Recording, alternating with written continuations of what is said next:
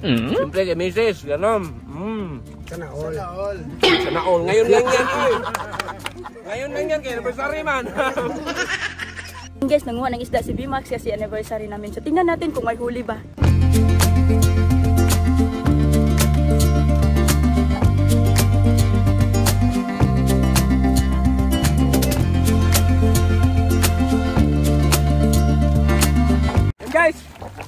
Na yung huli. Lato. Sarap tong lato. Yan. So, may anniversary namin ngayon guys. sa Asawa ko. So, kunti lang yung huli na- natin. So, bilhin lang tayo. Kasi ano, medyo maalon yung dagat. So, tara. So guys, namili na lang kami no. Kasi kunti lang yung huli natin. So, ito na yung nabili natin. Yan. So, ihawin natin yan mamaya. Tapos ito.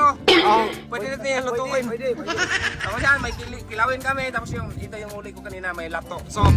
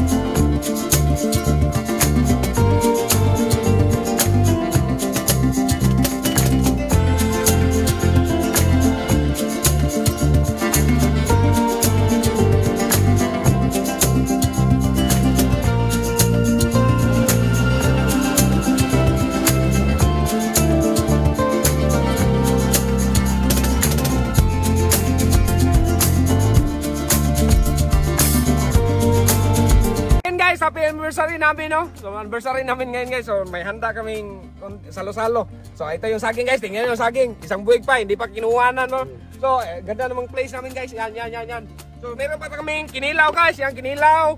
Tapos ito, ito yung lato. Ah, ito yung lato. Ganito lang yung pagkain ng lato guys. Magkuha ka lang yan, malinis naman yan. Yan. Tapos sausaw sa kinilaw. Ah. Mm. Mm. Mm. Siyempre kay Mrs. Ganon. Mm. Sana all. Sana all. Sana all. Ngayon lang yan, oy.